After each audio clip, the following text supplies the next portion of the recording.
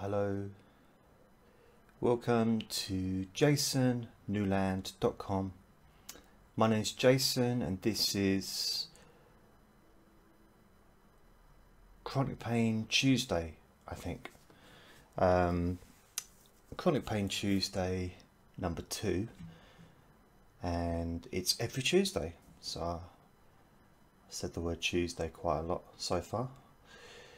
So the idea of these sessions is for you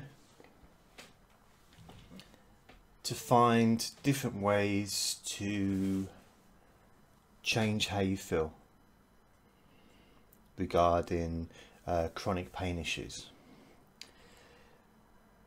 So I did something that I, re I really don't normally do before recording this is I listened to the last session that I made, the session I made last week, last Tuesday.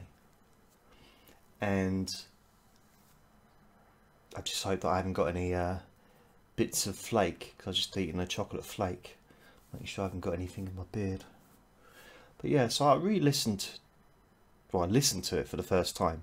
I don't normally listen to my stuff. Once I record it, it's gone, it's done, and I just move on. So I wanted to kind of, um, the reason for that is I wanted to have some kind of momentum, continuity, whatever you want to call it, um, from session to session. So last week I talked about self-limitations, I talked about the chronic pain, the part of the body with the pain in, that it's not attacking you, that you don't have to attack it back. Um, and a lot of the problems with chronic pain, with people with issues like that, is we're attacking it because we feel that it's attacking us, and that's the natural. That's the natural thing to do. Is really if someone's attacking us, if a person is attacking us verbally, let's say, that we attack back and it's not necessarily the best course of action but it is uh, quite often the natural course of action the natural response or reaction to being attacked.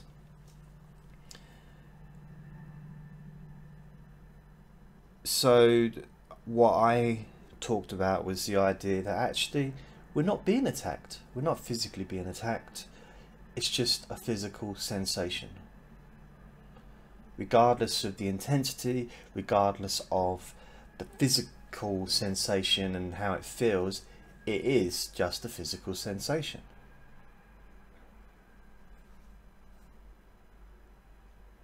There's no more than that. It's that's all it is. It's not attacking us. It's not trying to cause us harm even though there is, you know, there may have been suffering involved and there may still be suffering involved to a certain degree. But that suffering, so much of the suffering to do with chronic pain is the suffering we give ourselves. First of all, by denying it's there, not wanting it to be there and trying to push it away. And the more you push something away, the stronger it becomes.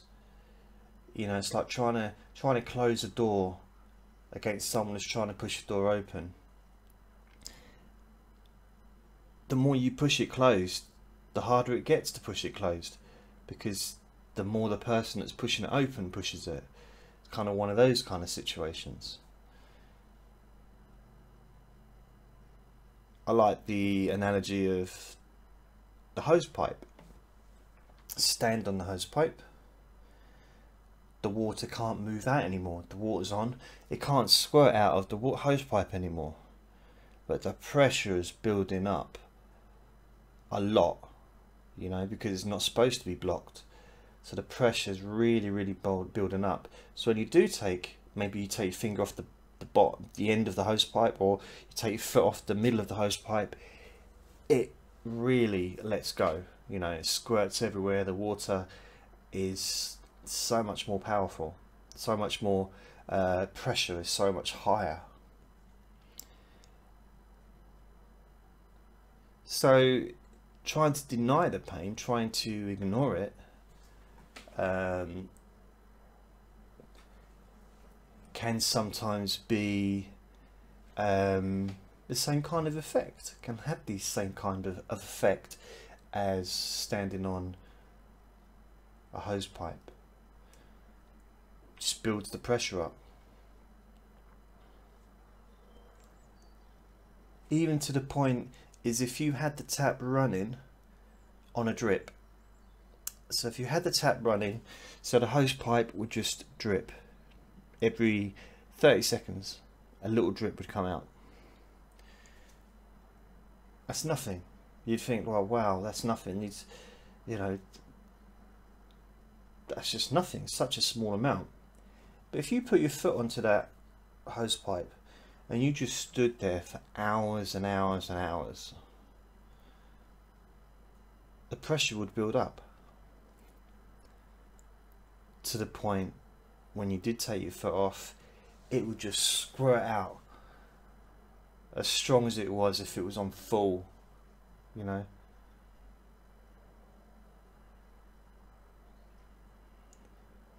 So wouldn't it be easier just to let it drip?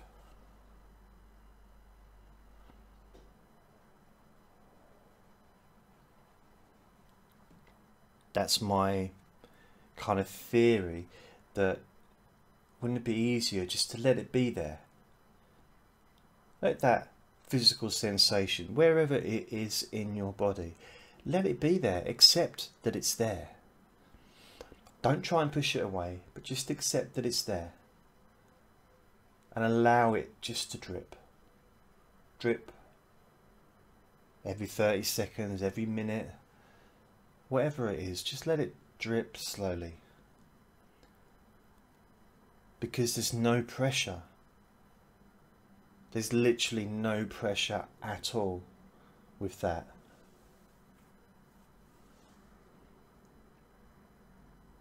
So the more time you spend trying to deny that there's that physical uh, issue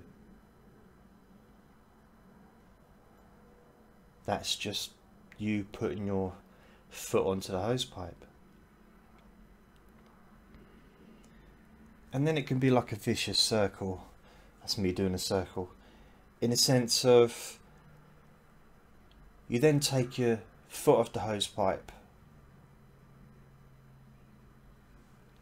and then you get that overflow just like you know much more water squirts out than would be normal. And then that kind of justifies putting your foot back onto the hose pipe. Because too much water's come out. Too much to handle all in one go. So when we're trying to ignore something and pretend it's not there, like a physical sensation that we're discussing.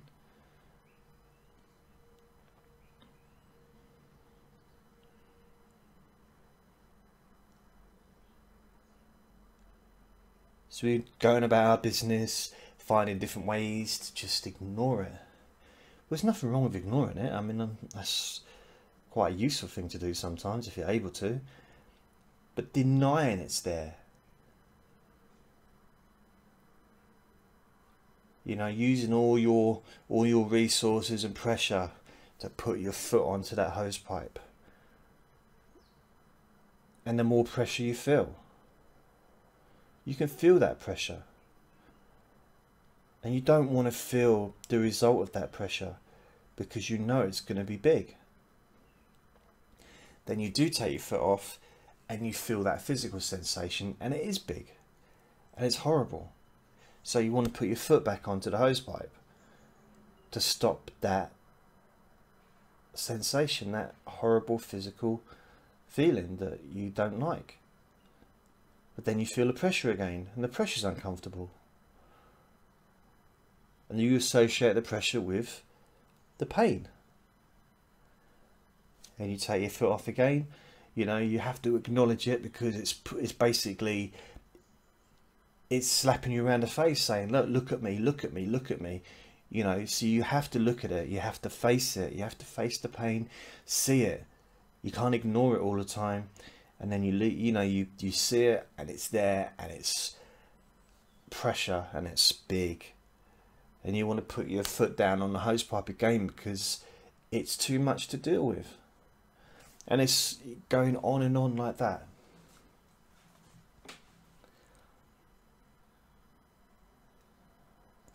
my idea is you just take your foot off the hose pipe and you realize that actually once that initial pressure is gone there is no more pressure. The tap is on low. And maybe if it's not low enough turn it on lower so that it drips less physically in your mind turn the tap so that it's at a comfortable level. But allow some to come out. Because for whatever reason maybe that's needed. Maybe it's not needed. Maybe it can be turned off completely. That's up to you. But just allow it so just a little bit come out. And notice the difference between that drip, drip, drip. Maybe less often than that, maybe every minute. Notice the difference in intensity, physical and emotional intensity of that compared to the full blown pressure and then letting it all go.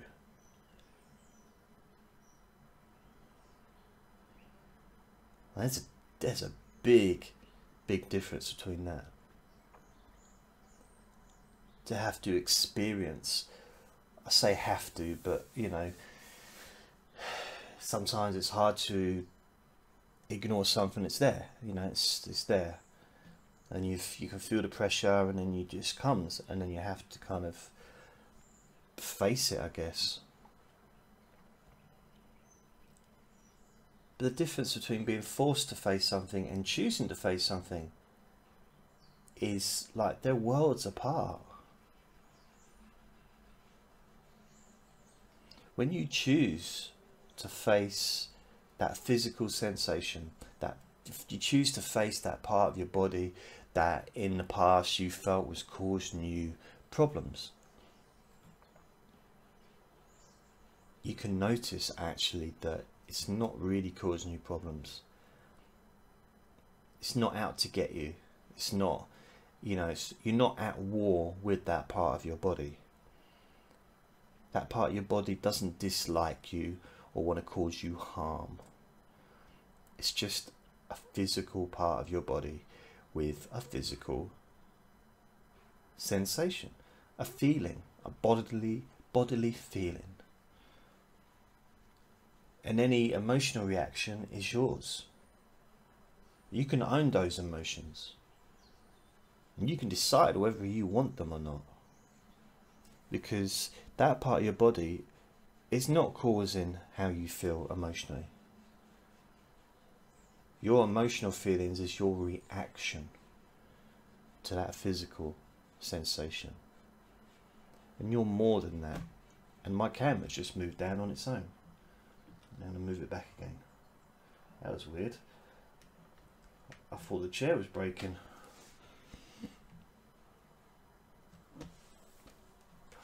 I don't think this ever happened in a, a recording. Ever where the microphone, the, the camera rather, has just slid, slid down. Um, anyway, hello again. I'm still here. If that had been the other camera, that would have uh, broken. The whole session would have just have to redo it again as soon as I touched the camera. So at least it's still running. Right, that, dis that distracted me, that did. So,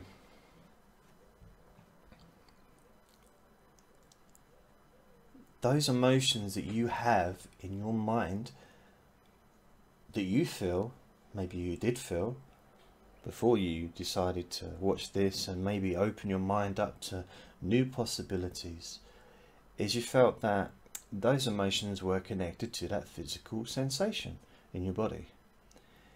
And it's logical to feel that way. It's it's absolutely logical, and uh, yeah, I'm not here to mock anyone and say, "Well, you feel that way, but you shouldn't because it's silly." And no, it's perfectly normal to have that uh, to have that reaction. But on the other side, you don't have to because the emotional side really is not got nothing to do with the physical pain. It's your reaction to the physical pain. So the physical sensations, it might trigger, it might trigger that that you know that reaction, that emotional reaction to thinking, oh no, not again, or this, and I hate this, and you feel like you're being attacked by your part of your body, but you're not. That part of your body is just doing what it does. And in all fairness, what you say to yourself in your mind, I discussed this in the last video, does actually have a huge impact on how you experience that part of your body. So,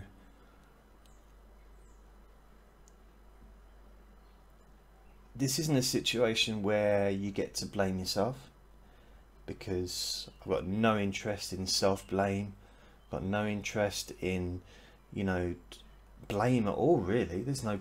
I don't think there's any any um, room really in my life for blame, and I don't think there needs to be any room for anybody for blame. There's certain situations, of course, where we can say, well, yeah, it was an accident, but you know, I caused the accident, but it was an accident. But why blame yourself for how you're feeling? You know, I I broke my wrist last year falling out of a bath, which was quite funny at the time. Not at the time, not in the in the actual moment when I was lying on the bathroom floor, unable to move, not knowing quite what I'd done. Very dazed. Luckily, I didn't hit my head, but I did hurt my body, side of my you know my my ribs, and my and I was laying on my left side, which is my left wrist was broken, and I couldn't get up because that was the side that I needed to push up. I'm quite heavy. Um, I wouldn't want to carry me. I wouldn't want to lift me upstairs. No. So the point is, it's all healed. It's all healed now. But you know, if I get a bit of an ache in there, sometimes I do. But if I, if you know, if in later years I get an ache in my get problems with my left wrist and it's achy. And what am I going to do? Am I going to blame myself? Am I going to chastise myself? Call myself names? Be horrible to myself? Because, you know, I fell out of the bath when I was 45 and, you know, now I'm 65, let's say, you know, and uh, maybe I've got arthritis in, in the bones and maybe that was triggered by the fall. I don't, I don't know, but you know, maybe I can't use my left arm as much as I could before. What what what would be the point in that?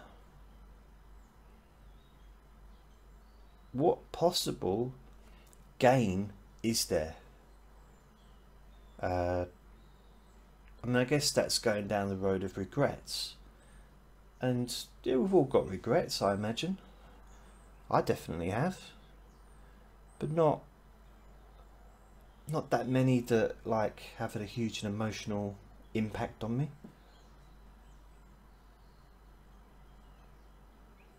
But you can't regret having an accident. It's not something. That's regretting something that you have no control over. I could have not got in the bath that day. Well, you know, that's not. There's no logic in that. You know, it's uh, So the point is, why have a go at yourself? I'm sorry for traumatizing anybody that had an image of me in a bath. Um, I do apologize. I should have put a warning on the video. May cause trauma, emotional trauma, a visualization of Jason in the bath. But uh, what is the point? Seriously, what is the point in having a go at yourself, blaming yourself? Blame is just such a pointless emotion, such a pointless thought patterns, pointless. Everything to do with blame and blaming is just stupid as far as I'm concerned.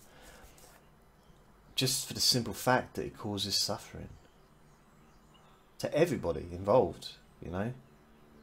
Um, maybe the person doing the blaming feels in some way that they can enjoy that. They can enjoy being, uh, you know, looking down at that person. They can enjoy feeling uh, superior, maybe. But I, still feel that they're suffering because anyone that's angry, uh, it's not. I don't class anger as a, a nice emotion. To have it, for me, doesn't feel nice. We've all been angry at times. That's a horrible feeling, personally. Maybe I'm wrong, but that's how I feel. It's an absolutely horrible feeling to have the feeling of anger. Um, so why would you want it against yourself? Why would you want it against a part of your body? You're angry or your leg because it's painful or because you maybe you have trouble walking to be angry at that part of your body, to feel that that part of your body is attacking you and is uh, causing you this uh, problem, this disability, this issue, physical issue. Well, neither of those things are happening. You know, your body isn't out to get you and you don't have to be out to get your body. You don't have to defend yourself against your own body.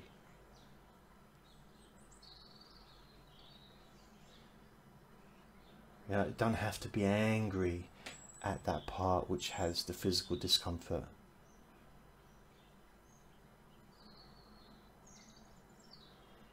You know, I don't know if this does any of this make sense. The idea that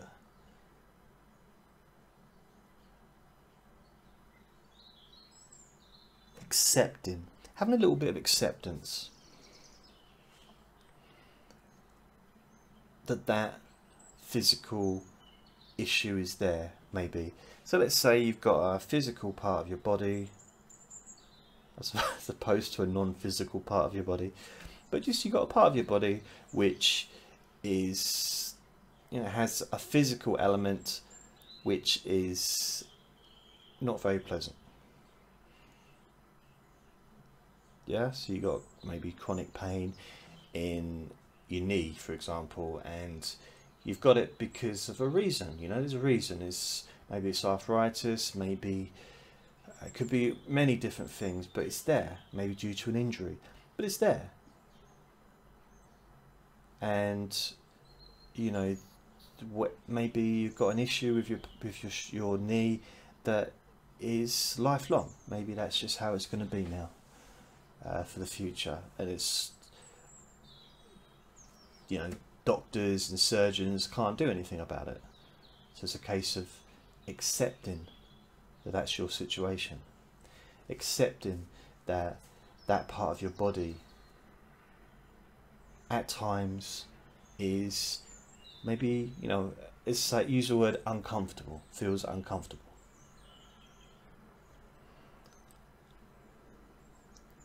But there's a, a real difference between accepting that that part of your body has these feelings and just opening yourself up to it and saying, well, okay, this is what's happening. This is the truth. This is what is real, what is now. And just opening yourself up to it, accepting it. The difference between that and putting your foot onto the hose pipe, you know, and stopping the, the, the pain coming through, those physical sensations, stopping them coming through because you don't want them which is understandable. Who does? You know, no one wants it. No one wants indigestion. No one wants to catch a cold. No one, yeah, but it's it's just what happens in life. We all dealt. We all we all. I was going to say we all dealt our cards, but that's a bit not really perhaps what I feel. We all have our own issues to deal with, whether it's physical, whether it's mental, where you know whatever it is. We all have our individual issues to yeah, just to live with, to accept. And you got kind of two choices there: you accept or you ignore it, or you know, within the ignoring it, it's part of. Let's use the word ignorance. No one likes to be called ignorant, I don't think. It's a very kind of negative word. But I would say what do, what does the meaning of ignorance mean is the word ignorance would in my head mean not knowing certain things. So when someone's ignorant, ign I'm trying to say the word ignorant about, let's say, uh, that part of their body and why they've got that physical sensation. So maybe, you know, they don't realize that there is a way of changing your perception. And it is all about perception. Which is weird, I know it's a strange kind of thing. Uh, a lot of people have said it in the past and it's like, yeah, yeah, yeah, how I feel, you know, how I think about something will change how I feel about it. And, well, yeah. It's true. Um, as true as rain comes from, no, travels downwards. Please don't tell me that rain travels upwards just in case I've there's some kind of weird uh, uh, scientific thing that I don't know about. But I'm just saying some things are true. You know, gravity. Chuck a rock in the air and it's going to land on the floor or at the target that you've thrown it at. So some things are just that's how it is. Now, how you think about that part of your body or how you think about suffering. If you use the word suffering, if you feel that you're um, suffering, then you're going to suffer. That's kind of like a pretty good certain certainty there. But if you think that, you know what, it's just a physical image. You know, it's a physical thing. It's just a a damaged part of the body. You know, the left hand doesn't work, but the right hand does. Good, the right hand works. Is there anything I can do about the left hand not working? If there is, then do it. If there isn't, well, I've got the right hand.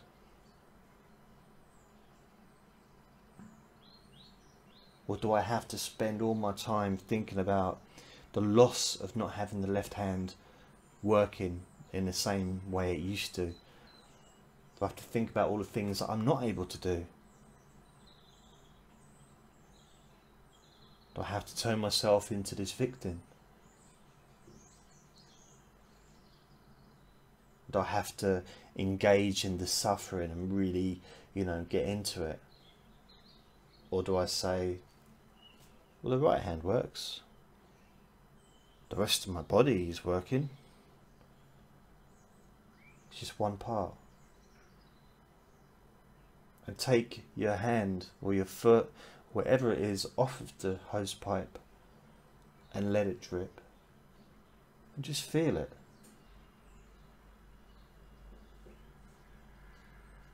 Notice how much easier it is to handle that physical sensation when it's just happening slowly.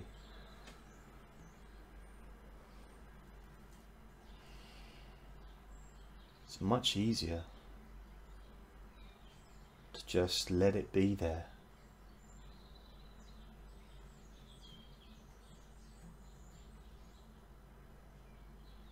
Without condemning it, without having a go at it, without being rude to it, without trying to ignore it.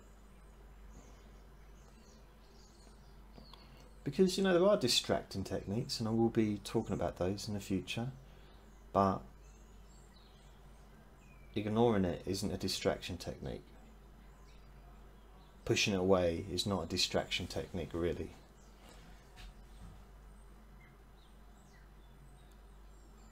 a distraction technique would be continuing to let it drip. Then to do something else. You know, and also remembering that not everything is right for everyone. And that's why I've got 600, over 600 videos and MP3s, is because I know, I've always felt this, that, you know, one pain relief technique is not enough for everybody. One relaxation technique is not enough for everybody. One sleep, you know, insomnia technique is not enough for everybody. We've all got our particular likes, our particular triggers that can have an effect on us which is why I like to do a variety of different sessions, different techniques, different ideas. At the moment, really, this is kind of an idea. This is just talking about it. I'm not giving you a technique specifically, you know, now think of this, think of that, do this, do that. Just talking about it. Because talking about something can change how you feel and you might not even know why you might not even realize why you might not you may not care why but there's something different happens. Something real changes. And it's it's about up there. Because once that changes once your mind changes then physically has an effect. That's the control center. Not just there, but I'm talking about inside. Your mind is what changes first. And it loosens, it grows. You know, the self limitations start to just melt.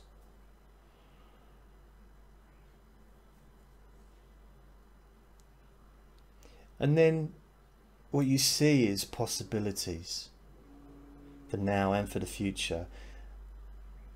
And you can start to think to yourself, well, if listening to this bloke with a beard, me, just listening to him for half an hour can actually change the way I feel about certain things. What else can I feel different about? What else can you change your mind?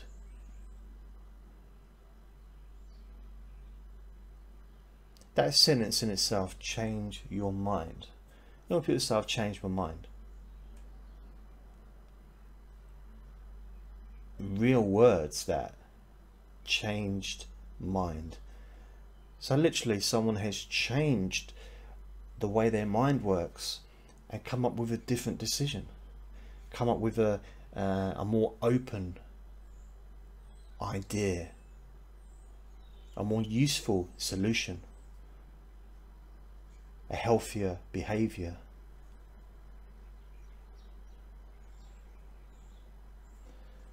So, this is all about ideas, chucking out ideas, and just seeing what comes from it. Seeing what possibilities are available.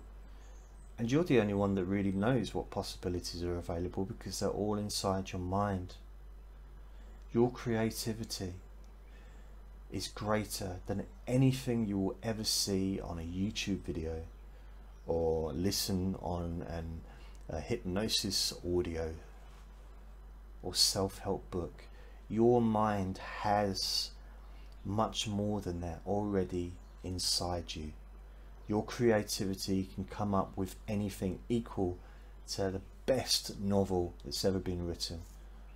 Not that there is a best novel, but you know, you have the capacity inside you to create a solution for all problems or issues that arise in your life.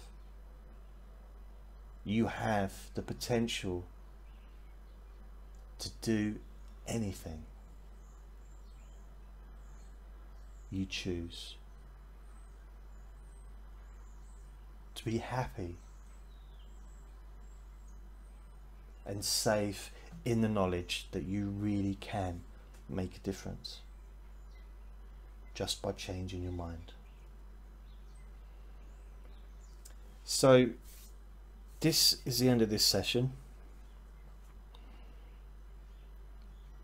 And this is Chronic Pain Tuesday number two. So, the next one will be next Tuesday, which will be on the 20th of uh, December. So take care yourselves. Have a great week. And just wonder to yourself what ideas will come up and how your mind affects your body. And by changing your mind will change your physical sensations and know that every time you listen to my voice, hear me talk, something changes. It's like a trigger, and it's all positive, it's all healthy, and it's all safe.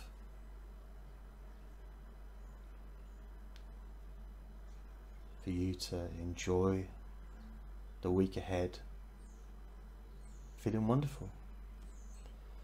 So take care of yourselves. Bye.